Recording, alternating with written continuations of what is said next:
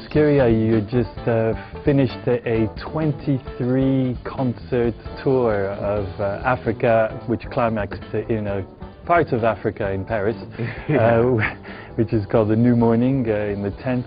What lessons do you draw uh, reflecting uh, on, on this grueling, grueling experience? Well, in, now that you call it an experience, I, I would say experience is the best teacher.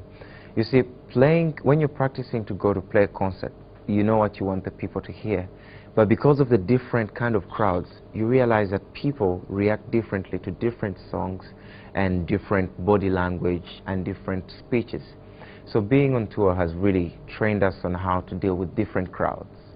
And uh, that's something that I think uh, all artists need to experience. Um, I've been lucky to see so many different crowds in West Africa and I feel like I've been in a classroom, a very big one in the West.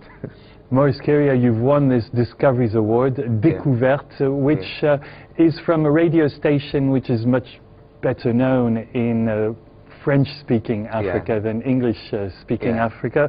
Uh, for you, uh, what, um, what does this prize, this uh, award, uh, represent? This, this award doesn't only inspire me and my band, but the people in my country who were just like me, people who are in the garages practicing to cross borders. This award has helped me cross the border to a wider horizon into the Francophone world, which we, we, we realize that they want to know everything about Uganda, but there is no exact bridge. So I, I saw this as a big opportunity for me to borrow the culture from Uganda and spread it all over the world and all over Africa. So it means uh, inter-border connections to me. You're, you're, responsible for this new style called yeah. the Moyo, yeah. which is a mixture of Afro soul, R&B, hip hop, uh, and, and, local Ugandan rhythms. Yeah. Tell me first of all about those rhythms in detail.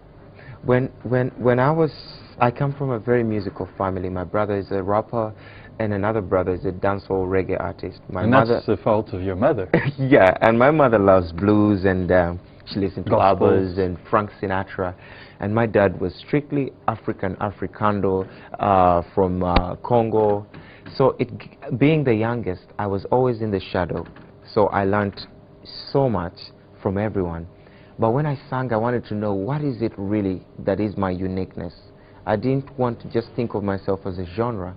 And over 10 years, I realized that the more I kept experimenting, I was coming up with something, but of course I credit a lot my band because they play uh, all the ideas that we come together with.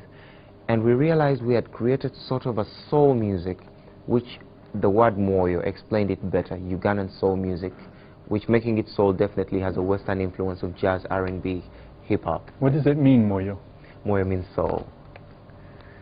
And what is the African part of Moyo? Moyo, if in... Ugandan part. Sorry. Yeah, the Ugandan part, Moyo. If you say Moyo, everyone will connect it to soul and spirit. But what's so beautiful about it that if you go to Kenya and say Moyo, they think of heart.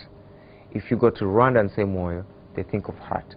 And I was very surprised to go to Dakar to find out that things like Malaika, what I sing about, they call angel Malaka.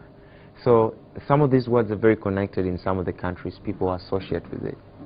Again, what's the African part rhythmically uh, yeah. of Moyo? It's more on the, the vocal tonations uh, and the vocal tonations which when you hear the singing style, as much as so many has been borrowed from different genres, you do hear the traditional way of accenting vocal tonations. Maurice, let me put you on the spot. Can ah, you illustrate well, you got that? me. Nze I'll make it even better, I think. How about this? leka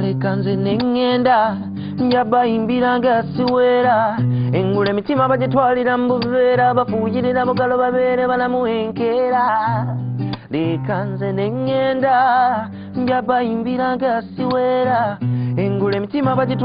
buveera. Bafuuyirira bugalo balamu so it's something to do with the tongue twisting the vocal tonations, which definitely when you listen to it, you can tell there's a wide influence of R&B, jazz, but keeping the local way of uh, a tone thing we call the gono.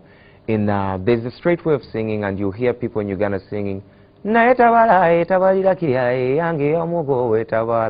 it's a shakiness in the voice that when we use it and borrow it with R&B and jazz, we get that kind of feeling.